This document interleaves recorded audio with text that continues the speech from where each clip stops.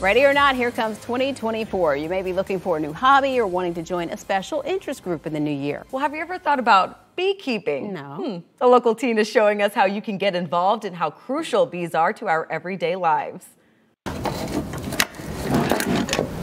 This busy bee is 17 year old Miranda Clementel. She says it was a neighbor who got her interested in beekeeping. I was very interested on what all these flying insects were and these white boxes and I was just eight years old so I just started with just asking some simple questions and I just fell in love with it. Now she's got two beehives in her own backyard. My mom was automatically really afraid and she didn't want me to have bees and I had to kind of beg her a little bit too but finally she came around. Before cracking open the hives we need to suit up for a bit of protection.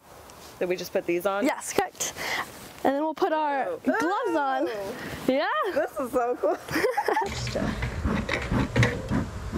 How many Yeah. times would you say you've been stung? I've gone and stung a lot. Probably definitely over a hundred stings. So this is the top and it's known as the honey super.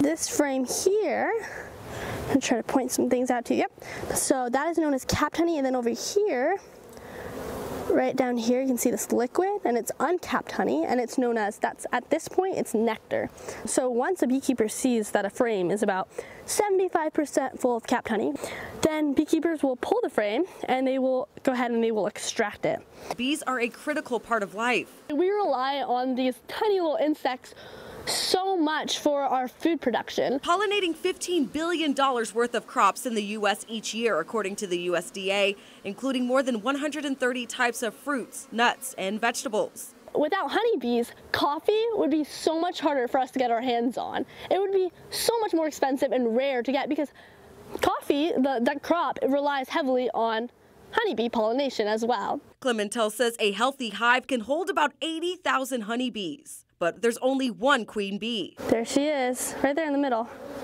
She's beautiful. Her abdomen, the end part of her body, is a lot longer compared to all the other bees. Even though it seems Clementel knows just about everything when it comes to bees, she says there's still so much to learn. Getting to better understand them through like science and studying them in labs is probably a big motivation, as well as just being part of perhaps one day the commercial industry where I can have thousands of colonies and really contribute You go, girl. Mm-hmm. Miranda is part of the Orange Blossom Beekeepers Association, even served as president. It's open to all ages and experiences, and they meet every month and hold workshops in Orange County. I posted more details on clickorlando.com slash insider. I'm imagining that some of the stocking stuffers probably included honey.